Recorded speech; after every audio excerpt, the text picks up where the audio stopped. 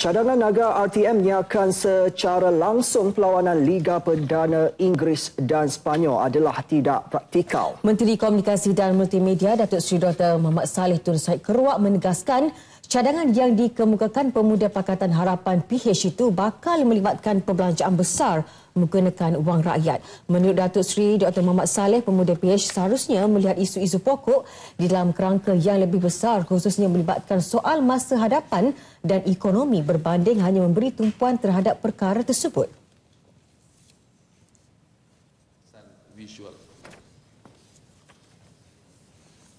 Kerana RTM ini adalah satu uh, televisyen yang dimiliki oleh kerajaan. Berarti ia dimiliki oleh rakyat ya dan sudah tentulah kita pastikan apapun uh, wang yang kita gunakan itu mestilah memberi manfaat kepada rakyat keseluruhannya. Uh, dan IPL sekarang pun memang ditayangkan di, di Astro dan kosnya bukannya murah ya. Dia mencercah ratusan juta dan mungkin juga bilion. Dan wang itu boleh kita gunakan lagi untuk keperluan-keperluan yang lain.